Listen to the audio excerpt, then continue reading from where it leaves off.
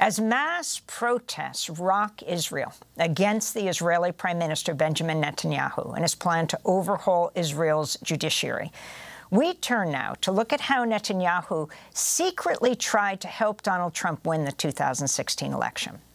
That's the focus of a new cover story in The Nation headlined The Candidate and the Spy. Longtime award-winning investigative journalist James Bamford reveals Netanyahu dispatched a secret Israeli agent to the United States in the spring of 2016 to meet with advisors to Trump and offer to share secret intelligence with the campaign against Hillary Clinton. The story is based in part on a series of text messages sent by the Israeli secret agent to Trump advisor Roger Stone.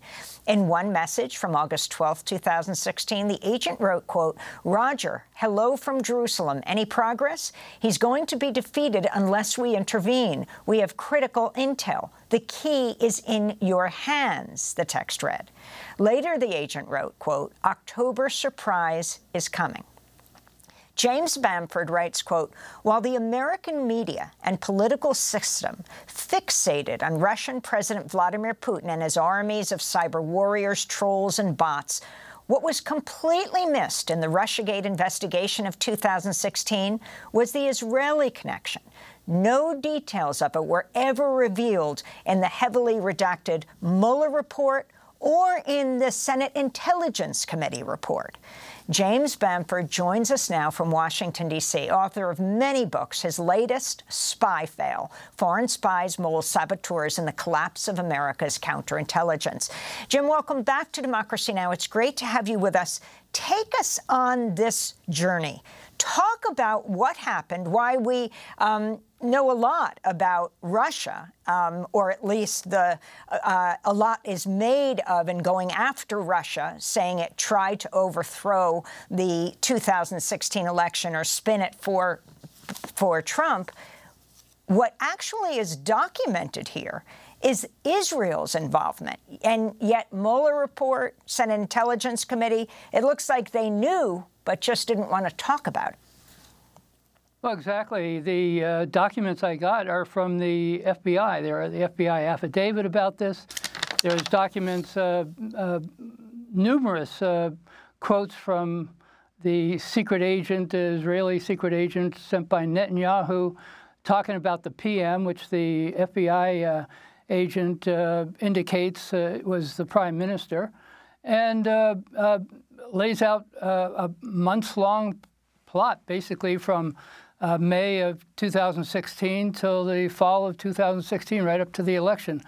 Um, this was investigated by the Mueller uh, team. It was the Mueller team, the Mueller FBI agents who actually uh, got a search warrant for the secret agent's uh, communications. And that's what these documents are. These are the basis of that investigation from the FBI and the Mueller uh, uh, team. But all this was redacted from the from the final Mueller report. All they focused on was Russia, and in the end, they basically gave uh, Russia a, a, bill of health. They said that there was no collusion between uh, Russia and uh, the Trump campaign. Uh, they left out a little bit uh, from the report, and that's that there was collusion, but it was from Netanyahu and Israel uh, to the Trump campaign, and it went on for months and months, and and involved providing the uh, Trump campaign with secret access to the uh, uh, information that the Russians were picking up from Hillary Clinton's campaign and the DNC. In other words, the Israelis, they have a very, very sophisticated uh, eavesdropping organization, Unit 8200. It's their equivalent of the NSA. And they were eavesdropping on the Russians and eavesdropping on WikiLeaks, uh, WikiLeaks and they were and Julian Assange, and they were picking up all this information that the Russians were getting from uh, the Clinton campaign and the DNC. And rather than giving it to the President of the United States, to Obama, uh, which is what an ally is supposed to do, especially one that gets $4 billion a year, um, they instead uh, were giving it to the uh, Trump campaign, secretly giving it to the Trump campaign in order to get concessions from Trump when he became president, and hopefully they were going to help make him well, president. Let's talk about that moment, why this was so critical for Netanyahu. Talk about the quartet, the direction Obama and the quartet were going in, and why Netanyahu wanted Trump to win. Well, a key reason he wanted uh, Trump to win was because Trump uh, vowed to uh, throw out the nuclear agreement with Iran that uh, the Obama administration worked very hard on and was very useful to the United States. And uh, Netanyahu didn't like it. He didn't want it. He uh, wanted Trump to get rid of it, and Trump was planning to do that. But he wanted a second thing, too. The Obama administration was putting a great deal of pressure on, on Netanyahu to work out an agreement with the Palestinians over Jerusalem, which was divided the final agreement over Jerusalem was going to be divided between the Palestinians and Israel. Israel wanted, uh, Netanyahu wanted the entire uh, city to be Israeli. And so they were putting pressure on the Trump campaign saying, uh, look, uh, this is what we want, and we can help Trump get elected, uh, but we have to have a, basically have to have an agreement that he's going to help us on this uh, issue over the sovereignty of Jerusalem.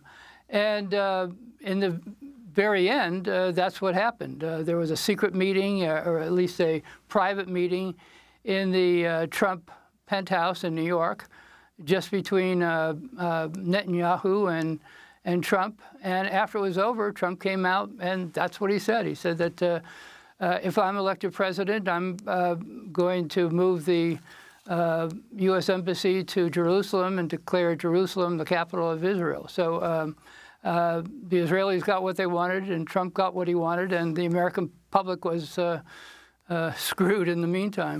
Uh, Jim Bamford, in your piece, The Candidate and the Spy, you write, although the affidavit did not specify any individual defendants, the numerous potential criminal charges laid out in the FBI documents spoke to the seriousness of the Israeli plot. They included violation of the foreign contributions ban, which prohibits foreigners from contributing money or something of value to federal, state, or local elections. Other charges included aiding and abetting conspiracy wire fraud, attempted conspiracy to commit wire fraud. Still another charge, unauthorized access to a protected computer, indicates Israel may have conducted illegal hacking operations.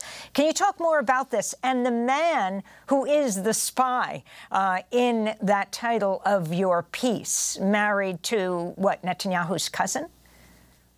Well, yeah, they don't name a uh, the, the, spy. The spy's name is redacted, uh, but there are a lot of similarities with one of Trump's closest associates, uh, Isaac Molho, and uh, he's a very shadowy character. The uh, he's described as very discreet, and uh, Netanyahu sends him on secret missions, various places.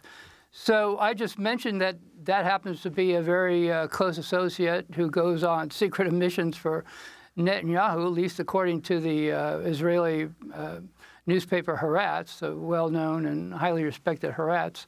Um, so he's a candidate, but I don't know if he was the secret agent or not. I'm just mentioning him as one of the people that Netanyahu does send out on secret missions. So, um, you know, I think it would be very important for the U.S. government to identify this person who is trying to uh, uh, interfere and, and uh, throw the election uh, in, in, favor of Trump.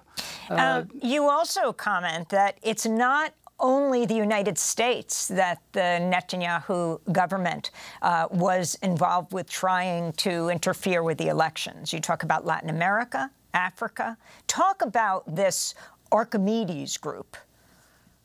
Well, just to back up a little bit, uh, just recently, uh, in the last few weeks, there was an enormous uh, investigation that was revealed uh, throughout much of the world, actually. Uh, uh, and it was a, an eight-month investigation by journalists from some of the most respected newspapers in the world, including Haaretz in Israel, La Pais in, in, in Spain, The Observer, and, and The Guardian in London, the uh, uh, Der Spiegel in, in Germany and uh, um, uh, French newspaper. Anyway, there, it was an enormous investigation, went on for eight months, and the focus was Israel um, interfering in elections around the world.